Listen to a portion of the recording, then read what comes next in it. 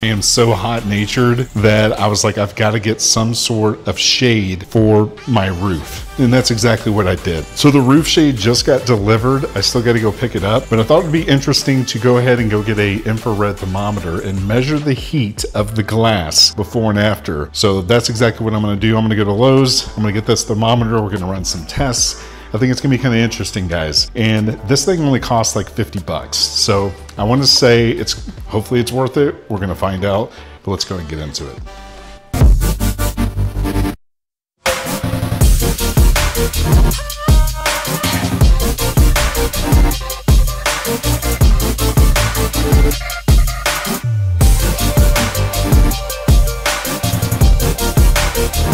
All right, let's see if this thing works. Try it on my camera. 71.4. You know what? We should try it on. Let's try it on me first of all. Let's see if it works. I'm 94.5. Thor, let's take the temperature. He's 87.3. Kind of feel like it's a little high. Maybe it's right. 81.0. see what the Nest camera is.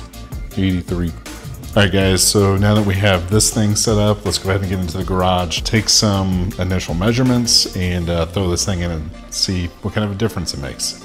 All right, guys, so we're in the garage, and granted, we've been parked for probably like almost 10 minutes, but even if I shoot the glass right now, look at that, almost 92 degrees, which is crazy.